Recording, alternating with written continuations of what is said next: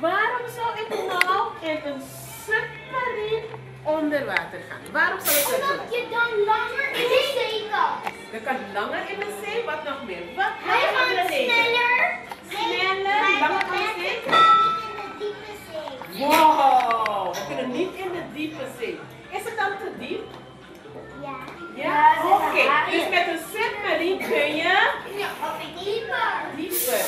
And I'm about to enter the sub at substation Curacao and um, try to do a painting underwater with watercolors. We'll be going to a depth of about 400 feet and I'm really excited about seeing what's down there. It's going to be a completely new experience for me.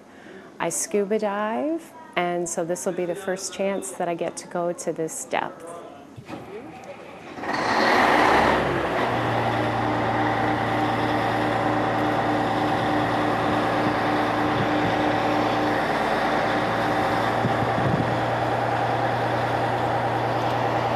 Just look. Let's look over the sun when we go inside, so I have an idea. Okay. And see if we need to bring some extra stuff, just in case Case. something spills. Yes, yes, and I do have some rags Okay. myself. Okay, no and problem. then I have a piece of plexiglass that I paint on, but it, it's not real wet, and I. Yeah. can squish it on Okay. top of the Ah, painting or okay. the painting on top of it.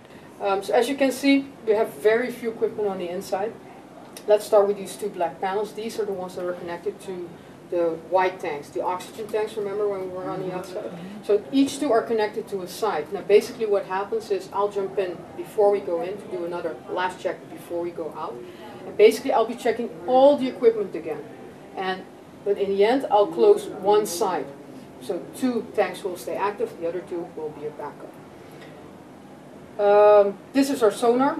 This is basically the monitor where I can see, oh, how far away I am from certain objects, how big the objects are. Sometimes very big fish, you see them also like a dot moving very fast through the screen. Um, basically, the sonar for us here, uh, we hardly use it anymore in this area. We've made over 700 dives just in this area alone in two and a half years. So we kind of know it like the back of our hands. We can even do it with our eyes closed, almost.